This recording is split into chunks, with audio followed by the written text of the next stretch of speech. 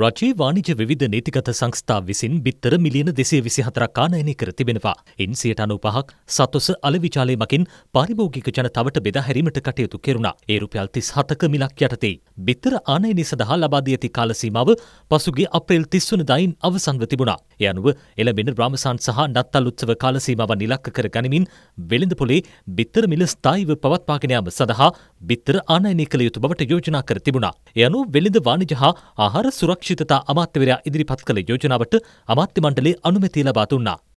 ශ්‍රී Lanka cricket ආයතනය සඳහා වන නව ව්‍යවස්ථාවේ කෙටුම්පත විධිමත් පරිදි සම්මත කර ක්‍රියාත්මක කිරීම සඳහා නීති කෙටුම්පත් සම්පාදකට උපදෙස් දීමට කැබිනට් අනුමැතිය හිමි වුණා. ක්‍රිකට් ආයතනයේ මුහුණ දෙන ගැටලු අධ්‍යයනය කර අමාත්‍ය මණ්ඩලයට නිර්දේශ ඉදිරිපත් කිරීමට කමිටුවක් පත් කෙරුණා. එම අනුකමිටුවේ නිර්දේශවලට අනුකූලව නව ව්‍යවස්ථාවක් කෙටුම්පත් කිරීමට විනිසුරු කේටේ චිත්‍රසිරි මහතාගේ ප්‍රධානත්වයෙන් කමිටුවක් පත් කෙරුණු අතර එම කමිටුව සකස් කළ කෙටුම්පතයි නීතිගත කෙරෙන්නේ.